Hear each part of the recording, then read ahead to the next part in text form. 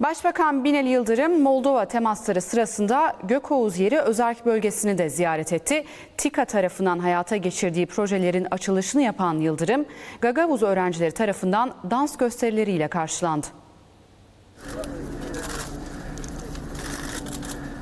Başbakan Binali Yıldırım'ın Moldova ziyareti renkli görüntülere sahne oldu. Gökoğuz yeri özerk bölgesine giden Başbakan Yıldırım coşkulu şekilde karşılandı.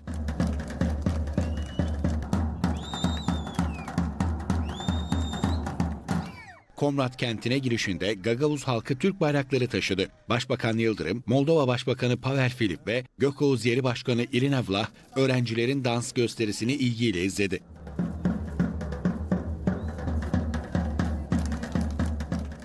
Karşılama esnasında Yıldırım'a gelenekler kapsamında tuz ve ekmek ikram edildi. Öğrenciler Başbakan Yıldırım'la fotoğraf çektirdi.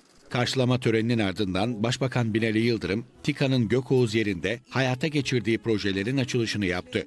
Türkiye'nin hem Gagavuzlara hem de Moldova'ya desteğinin süreceği mesajını verdi. yaptığımız görüşmelerde Gagavuz yerinin sosyal ekonomik sorunlarının çözülmesi ve kalkınmasına yönelik projeler geliştirilmesi konusunda tam bir fikir birliği olduğunu teyit ettik. Türkiye e, dünyada en fazla dış yardım yapan üçüncü ülke konumundadır. Bu bağlamda gerek Moldova'ya gerek Gagavuz yerine kalkınma yardımı ve gerekli destekleri vermeye devam edeceğiz. Binali Yıldırım Komrat'ta 4.